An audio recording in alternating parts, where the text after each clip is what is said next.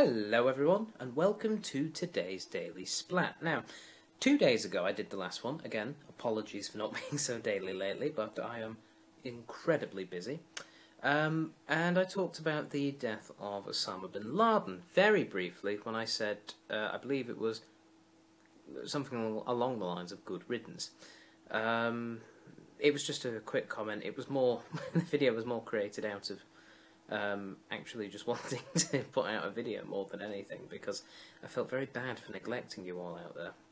Um, but now, obviously, it's been a couple of days, and I feel as though I'm able to comment more on the story now that it's had some time to simmer down. So, Osama bin Laden is dead, and he was killed, reportedly, by US operatives who were sent to Pakistan to deal with him after they received a tip-off that he was there. And so they have.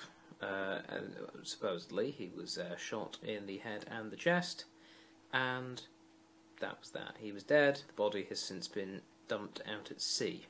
Now, a few people I know have had a couple of uh, sort of conspiratorial thoughts of hmm, dumping the body at sea, eh? Hmm, coming straight after the royal wedding. Hmm, with Obama not doing very well in the polls. Hmm, appears to be what a lot of them have been, well, talking about. And it's fairly understandable. The timing is, in some respects, a little convenient for uh, the Obama administration. However, dealing with the facts as they are, you know, I'm I'm not really concerned with the popularity of the Obama administration as yet. Maybe I'll comment on it later, maybe not. As I've said before, I tend to like to avoid politics, but this is a pretty important story. I mean, Osama bin Laden is arguably going to be remembered as one of the most important men in history, or in the history of the 21st century. You know, the first 10 years, arguably, when they look back in a hundred years' time or a thousand years' time, and if somehow this record has survived that long, hello the future, did you ever get those um, hoverboards going? Anyway, um, he's going to be remembered as a very influential figure. Now, obviously, when I say he will be remembered as influential, I obviously don't mean in a positive sense in Western circles, and indeed in, in most um, memories.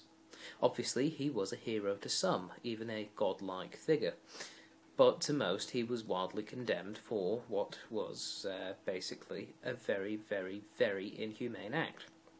Which is the reason that I said I good riddance to him, because regardless of what you believe, I don't think it's justifiable to do what he did essentially. You know, to organise what he did and to just cause so much havoc. It's just, in my opinion, not on. But that's it. This is an opinion for debate and such. Anyway, um, so yes, he has passed on now. Uh, he has been removed. Whether or not he was still uh, a linchpin in the Al Qaeda operation remains to be seen. No doubt he would be at least fondly remembered by the organisation. But yes, essentially he has gone, and I think this is just going to have a big. This is a this is big news. You know, society has been shaped by him to an extent. You know, he he was a man who brought the you know the United States at that time the unrivaled world power to its knees with a couple of planes and a group of you know men who hijacked them. So he regardless he will be remembered as an important figure, you know, because without him we probably wouldn't be looking at a war in Afghanistan, because obviously the war in Afghanistan was to find him. We probably wouldn't be looking at a war in Iraq. I mean, it might have happened, possibly. They would have arranged for it to happen somehow, but even so, the whole terrorism thing made it much, much easier to create such a scenario where an invasion of Iraq was fine with a lot of people obviously it wasn't fine with a lot of other people. There were some record-breaking protests and things of that nature. Anyway, point is, he was an, he was a very important dude, basically, um, and he has now gone.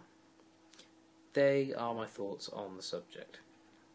Uh, if you'd like to leave an opinion uh, on the page that this is on, please do. Uh, you can also contact me through Twitter. Just go to www.twitter.com and in the search bar just search for Splatticus. That's S P L A T T I C U S. And let me know what you think, if you want. Okay. Yes, uh, just on video news relating to this, I will be trying to do more on a daily basis. However, I'm probably going to fail to do one tomorrow because, again, incredibly busy with work and a film that I'm in at the moment. So I'm being, I am actually being filmed tomorrow, but it's for something completely different. And also, there's uh, a play which I'm involved in, which I may make a little video for uh, in the future. So for those of you who are interested in the theatre, um, yeah, let me know. Okay, that is all for today. Thank you so very much for uh, watching, and I'll speak to you all soon. Until then, bye.